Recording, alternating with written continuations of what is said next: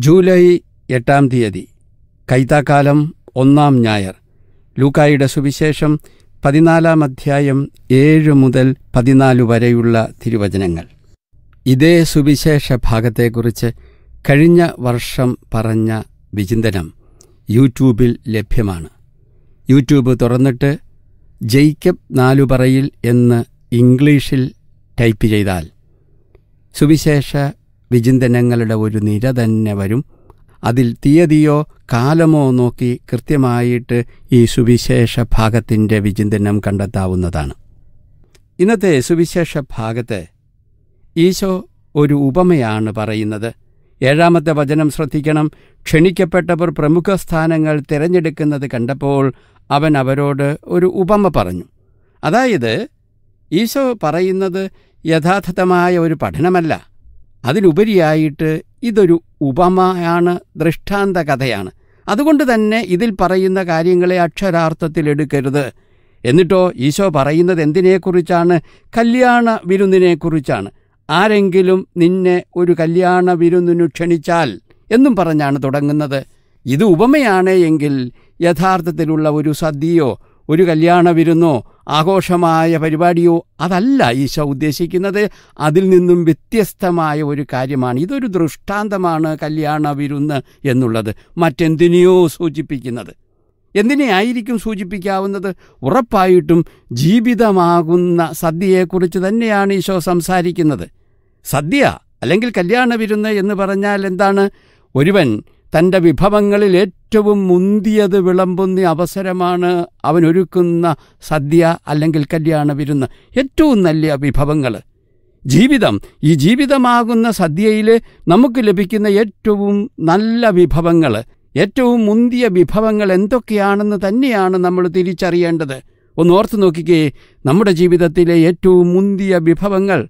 ആദ്യമായിട്ട് തന്നെ ഈ ജീവൻ. ലഭിച്ചിരിക്കുന്ന ഭൂമിയിൽ ജീവിക്കാൻ നമുക്ക് അവസരം ലഭിച്ചിരിക്കുന്ന ഈ ജീവിതം ഈ ജീവൻ അത് വലിയ ഒരു വിഭവം തന്നെയല്ലേ? അതോടൊപ്പം തന്നെ ഈ ജീവൻ നിലനിർത്താൻ ആവശ്യമായിരിക്കുന്ന പ്രാണവായു വെള്ളം ഭക്ഷണം സൂര്യപ്രകാശം ഇതൊക്കെ ജീവിതമാകുന്ന സദ്യയിലെ വിഭവങ്ങളാണ്. പോരാ അതൊക്കെ കഴിഞ്ഞാലും ഈ ജീവിതത്തിൽ നമുക്ക് ലഭിക്കുന്ന സ്നേഹം പ്രണയം. ഇത് ഈ ജീവിതത്തെ മുന്നോട്ട് കൊണ്ടുപോകുന്നതാണ്. അതുകൊണ്ട് തന്നെ അതും ഈ ജീവിതത്തിന്റെ പ്രധാനപ്പെട്ട വിഭവങ്ങളാണ്. അതുകൊണ്ട് ഈശോ പറയുന്നത് ജീവിതമാകുന്ന സദ്യയെക്കുറിച്ചാണ്. ജീവിതമാകുന്ന സദ്യ നിന്റെ ജീവിതത്തിലെ ഏറ്റവും മുന്തിയ വിഭവങ്ങൾ വിളമ്പുന്ന ഈ സദ്യ. ഈ സദ്യയിൽ പങ്കെടുക്കുമ്പോൾ എന്ത് ശ്രദ്ധിക്കണമെന്നാണ് ഈശോ പറയുന്നത്? ഈശോ പറയുന്നത് ഈ സദ്യയിൽ സ്ഥാനങ്ങൾ തിരഞ്ഞെടുക്കുന്നത്.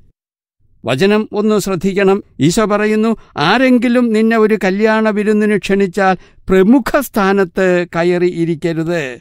പിന്നെ എന്താണ് പത്താമത്തെ വചനം? അവസാനത്തെ സ്ഥാനത്ത് പോയി നീ ഇരിക്കുക. ഈശോ പറയുന്നത് ഈ ജീവിതമാകുന്ന സദ്യയിൽ പങ്കെടുക്കുമ്പോൾ ഒന്നാം സ്ഥാനത്ത് കയറിയിരിക്കരുത് മറിച്ച് ഏറ്റവും അവസാനത്തെ ഒടുവിലത്തെ സ്ഥാനത്തിരിക്കണം. എന്ന് പറഞ്ഞാൽ എന്താ അർത്ഥമാക്കുന്നത്? തിരിച്ചറിയേണ്ടത് ഈ ഒന്നാം സ്ഥാനത്തിരിക്കുന്നവന്റെ മനോഭാവവും ഒടുവിലത്തെ സ്ഥാനത്തിരിക്കുന്നവന്റെ മനോഭാവവും തമ്മിലുള്ള വ്യത്യാസമാണ്. ഒന്നാം സ്ഥാനത്തിരിക്കുന്നവന്റെ മനോഭാവം എന്താണ്? ഇതെനിക്ക് അവകാശപ്പെട്ടതാണ്. ഈ സദ്യ എനിക്ക് അവകാശപ്പെട്ടതാണ്. മറ്റാരേക്കാളും കൂടുതൽ അവകാശപ്പെട്ടതാണ്. അതുകൊണ്ട് തന്നെയാണ് ഞാൻ ഒന്നാം സ്ഥാനത്ത് വന്ന് ഇരിക്കുന്നത്. എന്നാൽ അവസാനത്തെ സ്ഥാനത്തിരിക്കുന്നവന്റെ മനോഭാവമോ അവന്റെ മനോഭാവം ഈ സദ്യയിലേക്ക് ക്ഷണിക്കപ്പെടാൻ പോലും എനിക്ക് യോഗ്യതയില്ല. ഞാൻ ഇത് അർഹിക്കുന്നതല്ല അതുകൊണ്ട് തന്നെ എളിയ ഭാവത്തോടെ ഏറ്റവും അവസാനത്തെ സ്ഥാനത്താണ് പോയി ഇരിക്കുന്നത്. അതുകൊണ്ട് ഈശോ പറയുന്നത് ജീവിതമാകുന്ന ഈ സദ്യയിൽ എന്റെ ജീവനും ജീവന് പോഷണമായിട്ട് നിൽക്കുന്ന ജീവവായുവും വെള്ളവും വെളിച്ചവും പ്രണയവും സ്വീകരിച്ച് മുന്നോട്ട് പോകുമ്പോൾ എന്തു ചെയ്യണം? ഇവയൊക്കെ സ്വീകരിക്കുമ്പോൾ നിന്റെ മനോഭാവം ഏറ്റവും ഒടുവിലത്തെ സ്ഥാനത്തിരിക്കുന്നവന്റെ മനോഭാവമായിരിക്കണം. എന്ത്? ഇതെല്ലാം എനിക്കൊരു യോഗ്യതയും ഇല്ലാതിരുന്നിട്ടും സൗജന്യമായിട്ട് കിട്ടുന്നതാണ്. ഔദാര്യമായിട്ട് കിട്ടുന്നതാണ്. ഇങ്ങനെ ഒരു മനോഭാവത്തിൽ സ്വീകരിക്കുമ്പോൾ എന്താ സംഭവിക്കുന്നത്? ഹൃദയത്തിൽ നിറയെ സന്തോഷമായിരിക്കും. സൗജന്യമായിട്ട് കിട്ടുന്നത്. ഔദാര്യമായിട്ട് കിട്ടുന്നത്. ഒന്ന് ഓർത്തു നോക്കിക്കേ യഥാർത്ഥത്തിൽ അങ്ങനെ തന്നെയല്ലേ? എന്റെ ഈ ജീവൻ തന്നെ തമ്പുരാന്റെ ഒരു ഔദാര്യമായ ദാനമല്ലയോ? ഈ ജീവനെ നിലനിർത്തുന്ന പ്രാണവായു നമ്മൾ സൗജന്യമായിട്ടല്ലേ സ്വീകരിക്കുന്നത്?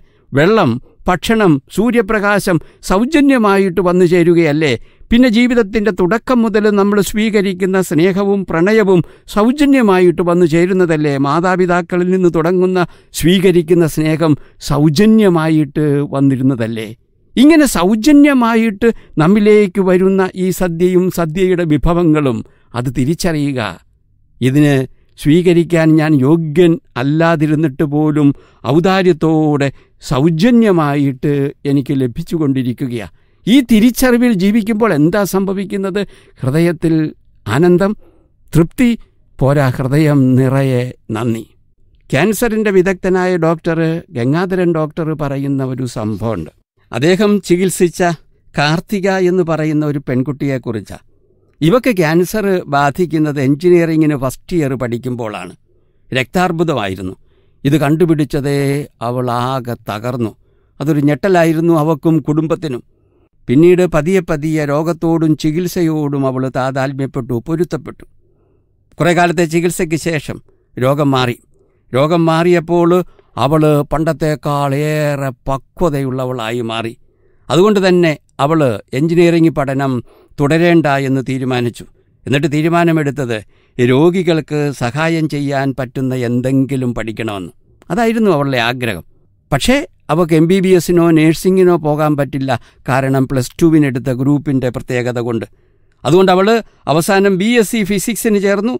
എന്നിട്ട് റേഡിയേഷൻ ഫിസിസ്റ്റായിട്ട് ജോലി നേടി. അങ്ങനെ ബാംഗ്ലൂരിൽ ഒരാശുപത്രിയിൽ റേഡിയേഷന്റെ ഫിസിസ്റ്റായിട്ട് ജോലി ചെയ്യുകയാണ്. ഇടയ്ക്കിടയ്ക്ക് ഡോക്ടറെ വിളിക്കും. ഒരു പ്രാവശ്യം വിളിച്ചപ്പോൾ അവൾ പറയുന്നത് ഒരു സംഭവമായിരുന്നു. അതായത് അവൾ ആശുപത്രിയിൽ നിന്നും ഉച്ചഭക്ഷണത്തിന് പുറത്തേക്ക് ഇറങ്ങിയപ്പോൾ വരാന്തയിൽ ഒരമ്മൂമ്മ ഇരിക്കുന്നു. ഒന്ന് നോക്കിയിട്ട് ഭക്ഷണം കഴിക്കാൻ പോയി. തിരിച്ചു വന്നപ്പോഴും അമ്മൂമ്മ അതേ സ്ഥാനത്ത് തന്നെ ഇരിപ്പുണ്ട്. ആരും ശ്രദ്ധിക്കുന്നില്ല. ഇവൾ അടുത്ത് ചെന്നു. വിവരം ചോദിച്ചു. ചോദിച്ചു കഴിഞ്ഞപ്പോഴാണ് മനസ്സിലാകുന്നത് അവിടെ ക്യാൻസർ ചികിത്സയ്ക്കായിട്ട് വന്ന അമ്മൂമ്മയാണ് ആരും കൂടെയില്ല. അനാഥയായ അമ്മയാണ്. പുട്ടപർത്തിയിലെ സൗജന്യമായി കൊടുക്കുന്ന താമസ സൗകര്യങ്ങൾ ഉപയോഗിച്ചാണ് ഇവർ ജീവിക്കുന്നത്. ചികിത്സ കഴിഞ്ഞിട്ട് തിരിച്ച് പുട്ടപർത്തിയിലേക്ക് പോകണം പക്ഷേ കയ്യിലുണ്ടായിരുന്ന മൊബൈലും നഷ്ടപ്പെട്ടു. എങ്ങനെയെങ്കിലും ബാംഗ്ലൂർ ബസ് സ്റ്റാൻഡിൽ ചെന്നിട്ട് പുട്ടപർത്തിയിലേക്കുള്ള ബസ് കയറി പോകണം. ഇതറിഞ്ഞ ഉടനെ കാർത്തിക ഈ അമ്മൂമ്മയെയും കൂട്ടി ബാംഗ്ലൂർ മജസ്റ്റിക് ബസ് സ്റ്റാൻഡിലേക്ക് പോയി. അവിടെ ചെന്നിട്ട് ഒരു ഹോട്ടലിൽ കയറി ഭക്ഷണം കഴിച്ചു. ഭക്ഷണം വാങ്ങിച്ചു കൊടുത്തു ഒരുമിച്ചിരുന്ന് ഭക്ഷണം കഴിച്ചു എന്നിട്ട് പുട്ടപർത്തിയിലേക്കുള്ള ടിക്കറ്റും എടുത്ത് കയറ്റി വിടുകയാണ്. ഇവൾ തിരിച്ചു വന്നിട്ട് സഹപ്രവർത്തകരോട് ഈ സംഭവം വിവരിച്ചു. അവർ അലസമായിട്ട് നിസ്സാരമായിട്ട് ഇതിനെയൊക്കെ തള്ളിക്കളയുക അന്ന് രാത്രി ഇവൾ കരയുകയാണ്. കാരണം രോഗം വന്നില്ലായിരുന്നുവെങ്കിൽ ക്യാൻസർ വന്നില്ലായിരുന്നു എങ്കിൽ താനും ഈ അമ്മൂമ്മയെ ശ്രദ്ധിക്കാതെ അമ്മൂമ്മയുടെ അവസ്ഥ മനസ്സിലാക്കാതെ തിരിഞ്ഞു നോക്കാതെ അവഗണിച്ചേനെയല്ലോ എന്ന് ഓർത്ത്. നമ്മൾ ഓർക്കേണ്ട കാര്യം ജീവിതത്തിൽ സൗജന്യമായിട്ട് സ്വീകരിക്കുന്ന ജീവിതത്തിന്റെ വലിയ വിഭവങ്ങളെ മറക്കാതിരിക്കുക. നമ്മുടെ ജീവിതത്തിൽ സൗജന്യമായി നമുക്ക് ലഭിക്കുന്നവ ഔദാര്യമായി കിട്ടുന്നവ നമുക്ക് ഒരു മെറിറ്റുമില്ലാഞ്ഞിട്ട് നമ്മിലേക്ക് വന്നു ചേരുന്നവ നമുക്ക് അവകാശപ്പെടാൻ ഒരു അവകാശവുമില്ലാഞ്ഞിട്ട് വന്നു ചേരുന്നവ അവയെ ഓർത്തിരുന്നാൽ എന്താ സംഭവിക്കുന്നത്? ജീവിതം സന്തോഷം കൊണ്ട് നിറയും തൃപ്തി കൊണ്ട് നിറയും പോരാ നന്ദി കൊണ്ട് നിറയും ഒരു പടിയും കൂടി കടക്കുമ്പോൾ എന്താണ്? സൗജന്യമായിട്ട് നമുക്കുള്ളവ കൊടുക്കാനായിട്ടുള്ള അവസ്ഥയിലേക്ക് നമ്മൾ വളരും.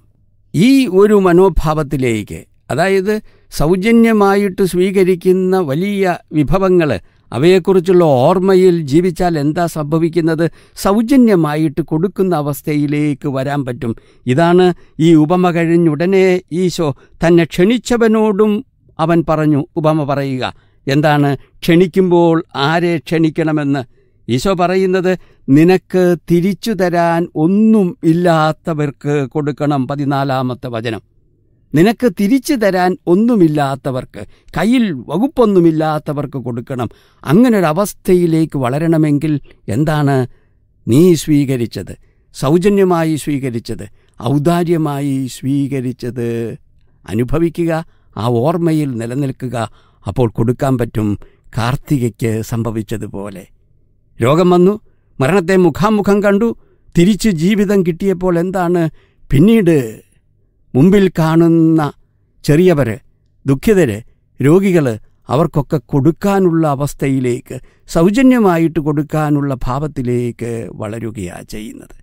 ഒരു വചനം കൂടി നമ്മൾ മനസ്സിലേക്ക് കൊണ്ടുവരണം. പത്താമത്തെ വചനമാണ് അപ്പോൾ നിന്നോടുകൂടെ ഭക്ഷണത്തിനിരിക്കുന്ന സകലരുടെയും മുമ്പാകെ നിനക്ക് മഹത്വമുണ്ടാകും.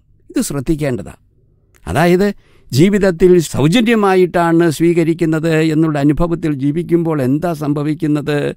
നന്ദി. തൃപ്തി. പോരാ മഹത്വം ഉണ്ടാകും. നിന്റെ ജീവിതം തന്നെ മഹത്വം ഉള്ളതായി മാറുന്നത്. ജീവിതം തന്നെ അതിന്റെ സമൃദ്ധിയിലേക്ക് വളരുന്നത്. ജീവൻ തന്നെ അതിന്റെ പൂർണതയിലേക്ക് വളരുന്നതും മഹത്വപൂർണമാകുന്നതും ഇതിലൂടെയാണ്. ഈശോ അതാണ് പറയുന്നത്. ജീവിതമാകുന്ന ഈ സദ്യയിൽ നമ്മൾ പുലർത്തേണ്ട മനോഭാവം ആ മനോഭാവത്തിലൂടെ ജീവന്റെ സമൃദ്ധിയിലേക്കും അതിന്റെ മഹത്വത്തിലേക്കും വളർന്നു വരാനുള്ള വഴി. നമുക്ക് പ്രാർത്ഥിക്കാം. നാഥ നീ പറഞ്ഞു തരുന്ന ജീവിതത്തെക്കുറിച്ചുള്ള ദൃഷ്ടാന്ത കഥ മനസ്സിലാക്കാൻ കൃപ തരണമേ. ഈ ജീവിതം ഒരു സദ്യയാണ്. ഈ സദ്യയിൽ ഞാൻ നിർലോഭമായിട്ട് പങ്കെടുക്കുകയും സദ്യ കഴിച്ചുകൊണ്ടിരിക്കുകയുമാണ് പക്ഷേ ഞാൻ കഴിക്കുന്ന ഈ വിഭവങ്ങളിൽ ഭൂരിപക്ഷവും. അത് സൗജന്യമായിട്ട് എനിക്ക് ലഭിക്കുന്നതാ. എനിക്കൊരവകാശം ഇല്ലാഞ്ഞിട്ട് പോലും എനിക്കൊരർഹത ഇല്ലാഞ്ഞിട്ട് പോലും എന്നിലേക്ക് വന്നു ചേരുന്നതാണ്. എന്നിലെ ജീവനും ജീവനെ പോഷിപ്പിക്കുന്ന ഘടകങ്ങളും എന്നിലേക്ക് വന്നു ചേരുന്ന സ്നേഹവും പ്രണയവും ഒക്കെ ഔദാര്യമാണ്. ഈശോയെ സൗജന്യമായിട്ട് ലഭിക്കുന്ന ജീവിതത്തിന്റെ വിഭവങ്ങളെ അനുഭവിക്കാൻ അത് സൗജന്യമാണെന്ന് തിരിച്ചറിയാൻ അതിനൊന്നും എനിക്ക് അർഹതയില്ലെന്നുള്ള അറിവിൽ ജീവിക്കാനുള്ള കൃപ തരയണമേ അങ്ങനെ ജീവിക്കുമ്പോൾ എന്റെ ഹൃദയത്തിൽ നന്ദിയും തൃപ്തിയും വളർന്നു വരും. അതോടൊപ്പം തന്നെ എന്റെ മുമ്പിൽ വരുന്നവർക്ക് സൗജന്യമായി കൊടുക്കാൻ ഔദാര്യത്തോടെ കൊടുക്കാൻ ഹൃദയവിശാലതയോടെ കൊടുക്കാനുള്ള ഭാവത്തിലേക്ക് എന്നെ നീ വളർത്തണമേ. അങ്ങനെ എന്നിലെ ജീവനെ അതിന്റെ നിറവിലേക്കും മഹത്വത്തിലേക്കും കൈപിടിച്ചുയർത്തണമേ. ആമേൻ.